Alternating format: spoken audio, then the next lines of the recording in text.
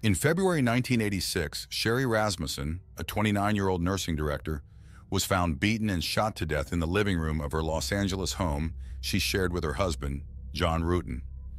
Initially, investigators considered the possibility of a botched burglary, dismissing Rasmussen's father's suspicions that her husband's ex-girlfriend, Stephanie Lazarus, a Los Angeles police officer, could be involved. The case went cold until 2009 when advances in DNA technology allowed detectives to match saliva from a bite mark on Rasmussen's body to Lazarus. This evidence contradicted the original burglary theory and led to Lazarus's arrest. In March 2012, Lazarus was convicted of first-degree murder, revealing a tale of obsession, jealousy, and a grave miscarriage of justice that had allowed a murderer to remain free for over 26 years.